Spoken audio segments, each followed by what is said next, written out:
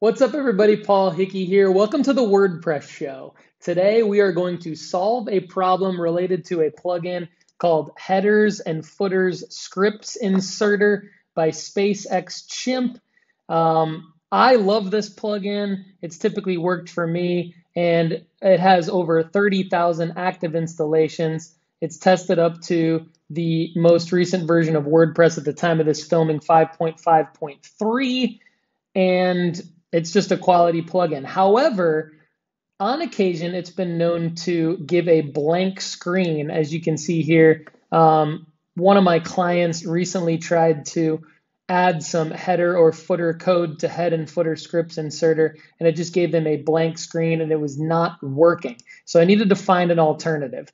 Now, before we get to the alternative, first I'm going to show you what exactly is a head and footer code it's something like either Google Analytics code, it could be Google Tag Manager code, it could be Google Webmaster Tools, Search Console code, it could be like a heat mapping code, like if you're looking at Crazy Egg or another kind of heat mapping tool like Hotjar or something like that.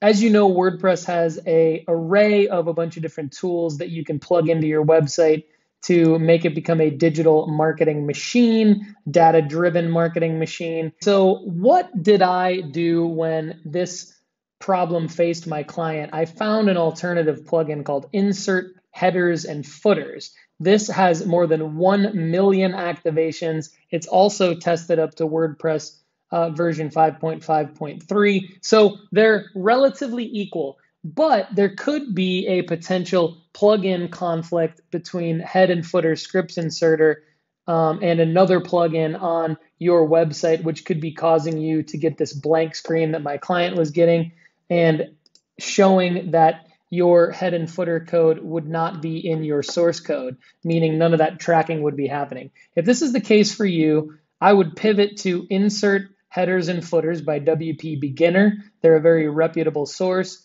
And when I did that for my client, it absolutely worked. It worked perfectly, as you can see here under the WordPress admin dashboard under settings, and then insert headers and footers. I was able to go in and replicate the code, the Google AdSense code, all other header and footer code that I needed is now under the source code here.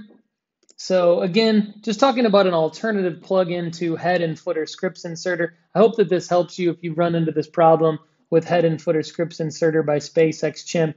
I would pivot over to insert headers and footers. Does the exact same thing. There might not be a plugin conflict with it on your website. So again, a lot of times I wouldn't worry too much about these issues. Uh, helping you find an alternative plugin is one thing that the WordPress show can continue to do. Thank you so much for watching. For more information, you can check me out at datadriven.design or thewordpressshow.com coming soon. And if you'd like to do business with me, you can email me directly at paul at datadriven.design. This is another episode of the WordPress show. Thanks and have a great day.